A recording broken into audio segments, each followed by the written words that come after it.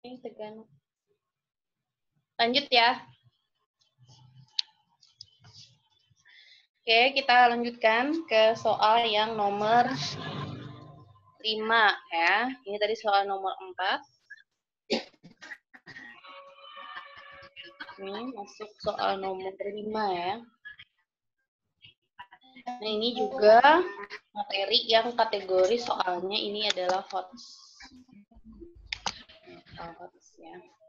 Oke, kita lihat soalnya di sini. Peristiwa Rengas Dengklok merupakan momentum penting bagi kemerdekaan Indonesia. Nah, di sini kalimat peristiwa Rengas Dengklok ya. Jadi ini mengingatkan kita tentang peristiwa tentang proses perumusan daripada kemerdekaan Indonesia. Kalau kita ingat kembali bahwa proses perumusan uh, proklamasi kemerdekaan Indonesia itu diawali dari dibentuknya BPOPKI, kemudian setelah dibentuknya BPOPKI itu Nah, ini Ibu tuliskan tampilkan lagi di sini ya.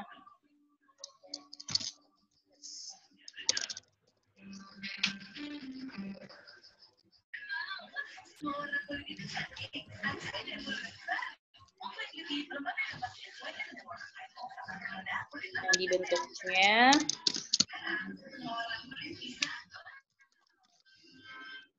BPOPKI. Kemudian ketika BPUPKI tadi sudah berhasil merumuskan dasar negara dan mencanangkan undang-undang dasar, baru tahapan berikutnya yaitu ketika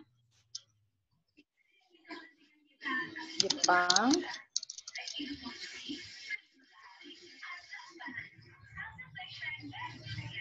menyerah Jepang kalah dalam Jepang kalah dalam PD2 dengan dibuktikan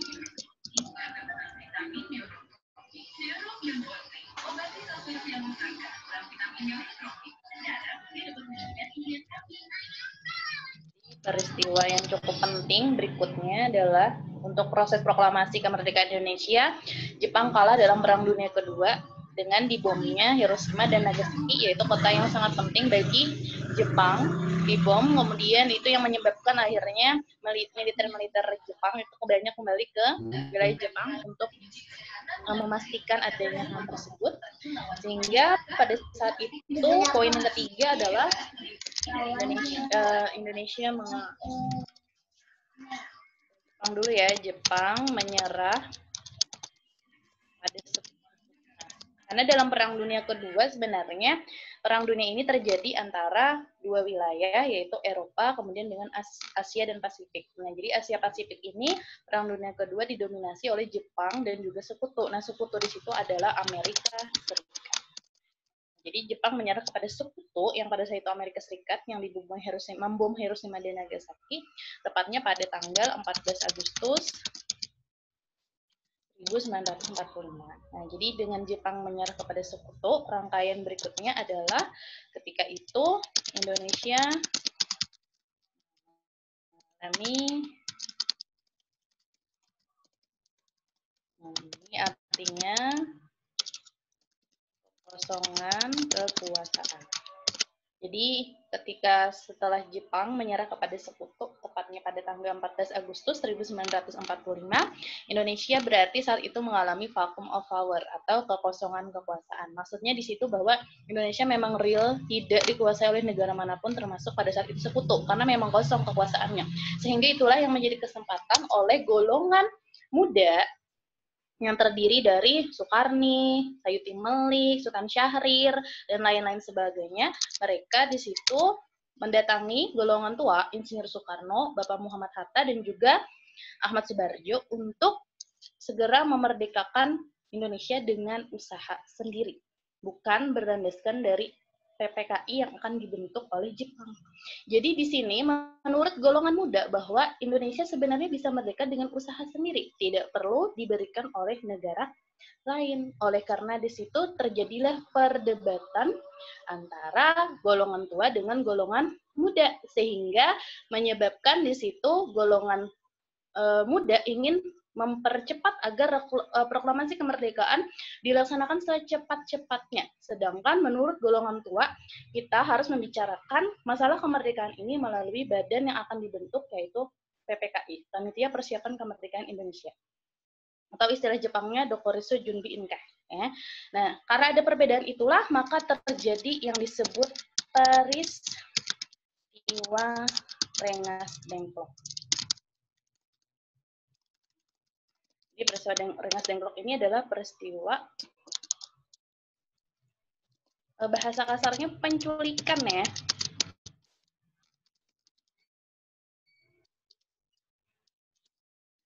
Soekarno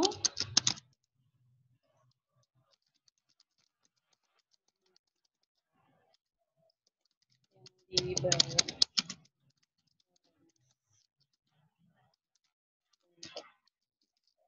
Nah, jadi maksudnya dibawa ini bukan semerta-merta diculik seperti yang kita pikirkan ya. Jadi e, maksudnya dibawa ke Rengas Dengklok ini untuk diamankan agar tidak mendapat pengaruh dari Jepang. Karena walaupun e, beberapa militer ataupun orang-orang Jepang banyak yang kembali ke Jepang karena adanya peristiwa di bomnya Hiroshima dan Nagasaki, namun tetap ada beberapa militer Jepang yang masih stay atau masih tetap ada di Indonesia. Nah, itulah yang mengawasi gerak-gerik dari para tokoh-tokoh uh, perumus kita nanti dalam melakukan kegiatan pemerintahan. Nah, dengan adanya penculikan atau dibawanya Bapak Insinyur Soekarno dengan Muhammad Hatta ke Rengas Dengklok, di situ dibicarakan tentang apa saja yang harus kita lakukan untuk mencari jalan agar proklamasi kemerdekaan Indonesia dilaksanakan secepat mungkin. Ya, tidak harus ada tanpa uh, bantuan dari negara lain, tetapi dengan usaha dari bangsa Indonesia sendiri. Jadi pernyataan tentang peristiwa Rengas Dengklok merupakan momen penting bagi kemerdekaan Indonesia itu adalah benar. Nah, jadi adanya rangkaian peristiwa Rengas Dengklok inilah yang akhirnya di situ adanya tadi perbedaan antara Insinyur Soekarno, Muhammad Hatta, Ahmad Subarju dengan golongan muda, Sultan Syahrir, kemudian tadi Sayuti Melik dan sebagainya, memberi satu keputusan bersama, yaitu pada tanggal 16 Agustus 1945 Akhirnya dilaksanakanlah proses perumusan naskah proklamasi kemerdekaan Indonesia yang tepatnya dilaksanakan di kediaman uh, Laksamana Muda Maeda yang menyediakan tempat orang Jepang yang sangat pro terhadap orang Indonesia sehingga dia uh, menyediakan tempat untuk membiarkan uh, rumahnya dijadikan sebagai tempat perumusan naskah proklamasi. Hingga dilaksanakan dari pukul uh, 21 malam ya hingga sampai jam 4 subuh akhirnya terciptalah di situ teks proklamasi yang sering kita dengarkan pada setiap 17 Agustus 1945. Nah, hingga akhirnya di situ berarti peristiwa Rengas Dengklok ini adalah peristiwa yang memang sangat momentum sekali.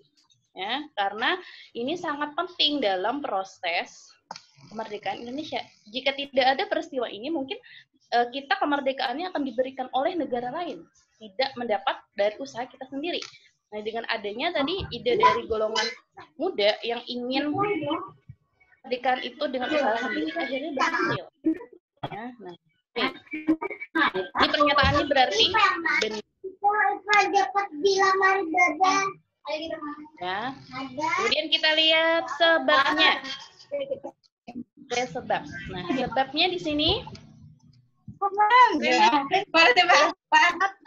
yang tepat untuk kalau kelihatan gue sambil makan gimana apa juga tempat yang tepat untuk menyusun proklamasi ini sebenarnya kurang tepat ya.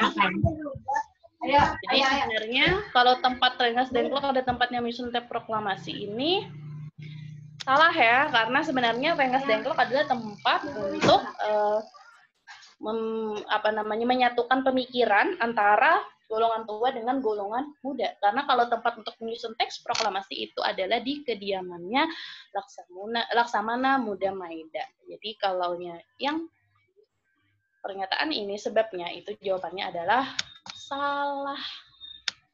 Nah, kita lihat di pilihannya. Jika pernyataannya benar, yang A ya, jika pernyataan benar, alasan salah, keduanya menunjukkan hubungan sebab akibat. Benar dan salah, tapi ada hubungan sebab akibatnya enggak? Iya, satu tema yang sama ya, pembahasan tentang teks proklamasi atau proses kemerdekaan Indonesia. Yang kalau B, jika pernyataan benar, alasan benar. Oh ini jika pernyataan benar, alasan benar atau jelas salah, karena di sini alasannya salah. Ini jika benar, benar, oh jelas salah. Oke, pilihan berikutnya. Jika pernyataan benar, alasannya salah. Iya, pernyataannya benar dan alasannya adalah salah. Kalau yang D, jika pernyataan salah, alasan benar, kebalik. Eh, jika pernyataan dan alasan salah, salah berarti jawabannya adalah C. Nah, jadi kalian memang harus perlu memahami dari bentuk pernyataan dan juga kronologis-kronologis uh, peristiwa seperti ini. Nah, peristiwa yang Rengas Dahlan ini sering keluar biasanya kalau di soal-soal SBMPTN ya. Sehingga soal-soal ini menjadi salah satu contoh yang harus uh, kalian lebih uh, latihan lagi untuk menjawab-jawab soal seperti ini. Karena yang namanya soal-soal sejarah itu ber, uh, berdasarkan proses kronologi-kronologinya. Salah satunya tentang proses kemerdekaan Indonesia, entah nanti proses penjajahan, atau uh, kedatangan bangsa barat, atau kedatangan uh, Jepang ke Indonesia, dan sebagainya. Nah, jadi karena pembelajaran sejarah ini berdasarkan kronologi. Ini soal yang nomor 5 ya. Jadi soal yang hot sekali karena memang harus kalian memahami materi dan ini berhubungan karena sama-sama membahas tentang kemerdekaan Indonesia. Ya, kita next soal nomor 6. Nah, oke, okay. ini levelnya cukup materi berat. Ini materi sejarah di kelas 12. Ya, sejarah peminatan kalau masuknya ini. Nah, soalnya juga hot. Jadi soalnya gini, setelah Perang Dunia Kedua, nah ini membahas tentang Perang Dunia Kedua ya, dunia masih mengalami berbagai masalah terutama tarik-menarik dua blok negara, yaitu blok Barat dan blok Timur. Keadaan tersebut dikenal dengan istilah perang dingin, yaitu, nah berarti kita di sini mencari definisi definisi tentang apa yang dimaksud dengan istilah perang dingin.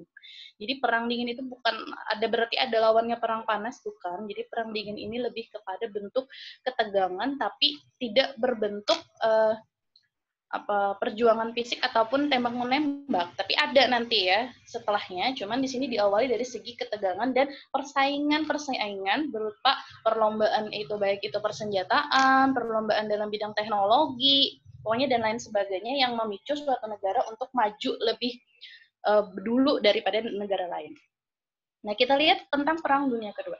Jadi Perang Dunia Kedua itu sebenarnya terjadi ya tahun 1939 hingga 1945. Ini Perang Dunia Kedua dulu. 19 3 9 sampai 19. Nah, berakhirnya tadi salah satunya ketika sekutu dimenangkan dalam Perang Dunia Nah, 1945. Jadi perang dunia kedua terjadi 1939 sampai 1945. Nah, setelah selesai perang tersebut dimenangkan oleh pihak sekutu, ternyata masih ada permasalahan antara negara-negara yang ada di dunia, bahkan antara negara Eropa atau yang kategorinya disebut negara barat. Nah, yang mana mereka membentuk dalam dua blok, yaitu blok barat dan blok timur. Apa itu blok barat, blok timur? Jadi, blok barat itu sebenarnya adalah ini ya perbedaannya. Nah, blok barat itu Amerika Serikat dengan ideologinya adalah sosialis liberal atau liberal itu uh, kebebasan ya sedangkan blok timur ini adalah pada saat itu namanya Uni Soviet kalau sekarang tahun 1998 namanya sudah berganti menjadi Rusia jadi blok barat dan blok timur itu sebenarnya dua negara yang bersengketa atau yang bermasalah uh, dalam hal persaingan atau ketegangan-ketegangan yang muncul karena tadi berbagai macam alasan. Yaitu blok barat yang di bawah naungi dari Amerika Serikat yang memiliki ideologinya sosialis liberalis.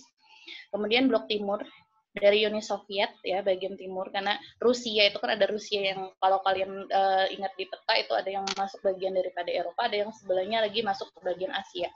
Nah, unit makanya disebut blok timur ya masih ke arah Asia. Nah, blok timur ini adalah Uni Soviet atau komunis yang memiliki ideologinya komunis. Ya, mungkin kalian tahu ya apa itu ideologi komunis. Kalau liberalis itu ideologi yang mengarah kepada bentuk kebebasan.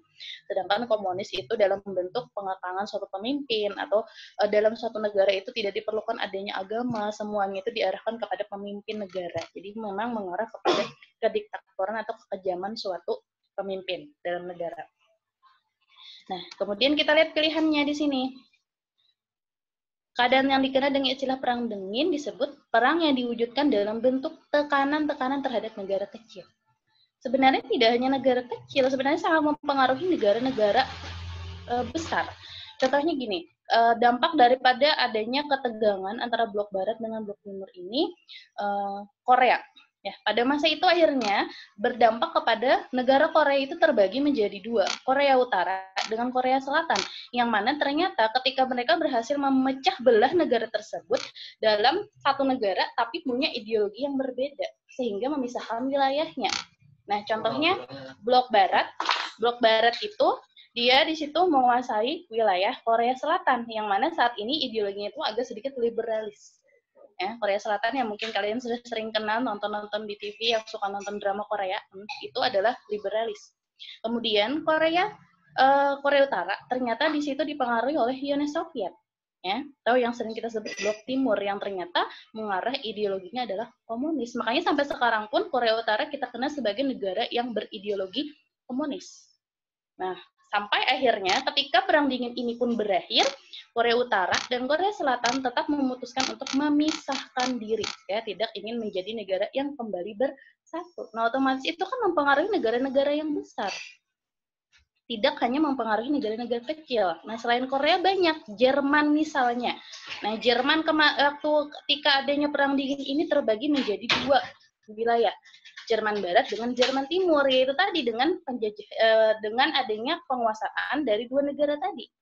Jadi karena mereka selain tadi ketegangan karena adanya ideologi, kemudian juga tadi perlombaan berbagai macam, mereka juga di sini membagi wilayah-wilayah agar terpecah belah. Nah, salah satunya kalau di Eropa Jerman, kalau di Asia tadi Korea. Nah, Jerman Barat, Jerman Timur dengan dibuktikan dibangunnya tembok Berlin ya, sebagai pemisah antara Jerman Barat dengan Jerman Timur. Namun nanti setelah berakhirnya Perang Dingin, tembok Berlin itu pun dipisahkan. Jadi memang nanti alasan berakhirnya Perang Dingin itu salah satunya karena uh, tembok Berlin dipisahkan, kemudian bersatunya Jerman Barat dengan Jerman Timur. Berbeda dengan Korea ya yang memisahkan diri. Kemudian negara-negara lain besarnya seperti Vietnam, Cina, itu juga sangat mempengaruhi sehingga kalau yang A itu pasti jawabannya adalah salah. Karena pada dasarnya perang dingin, walaupun dingin, dalam arti ketegangannya bukan panas-panasan, ketegang, tapi sebenarnya mempengaruhi negara-negara yang besar. Jadi yang A kurang tepat, bukan tidak benar tapi kurang tepat. Yang B, perwujudan perbedaan ideologi antara blok barat dan blok timur. Nah, pertanyaannya tadi di sini bukan hanya ideologinya saja, tapi pemecah belahan wilayah pembar, uh, wilayah suatu negara, kemudian uh, di sini mengarah kepada bentuk persaingan teknologinya, persaingan dalam bentuk uh, persenjataan dan sebagainya. Jadi yang B kurang tepat ya jawabannya. Karena hanya di sini hanya menuliskan ideologi. Yang C, nah, ketegangan. Ini sudah ada kata kuncinya, ketegangan.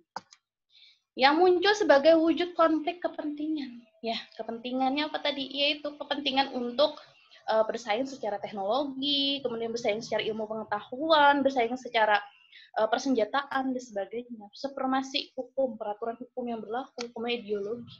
Nah, ini lebih mengarah kepada benar jawabannya ya. Kemudian yang D, perlombaan senjata untuk saling menekan antara blok barat dengan blok timur, saling menekan. Kata kunci juga di sini, cuma kita lihat lagi.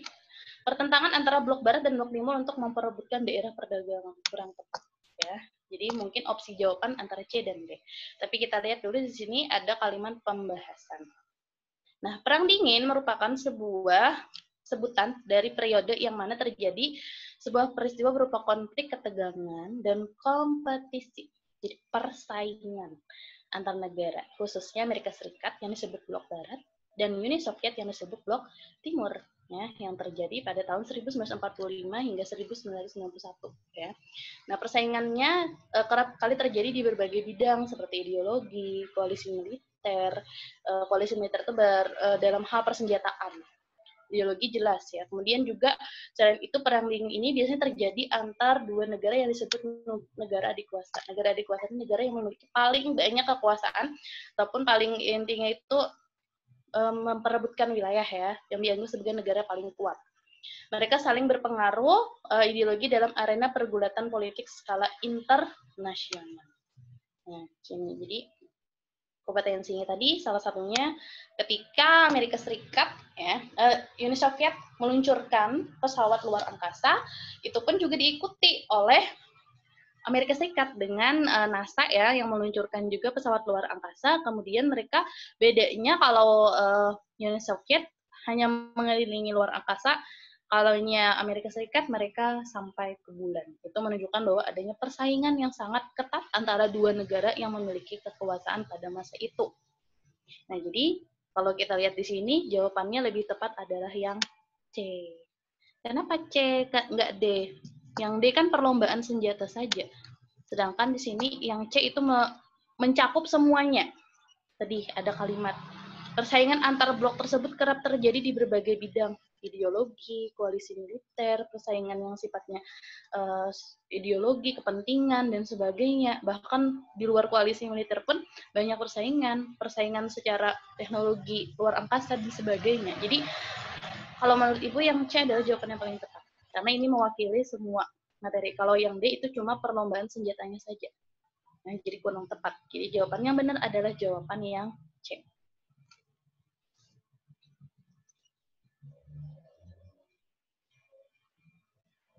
Nah, itu nomor kita istirahat dulu lah. Oh iya. Nah. Oke. Okay. Jangan ibunya istirahat sudah dulu ya nanti.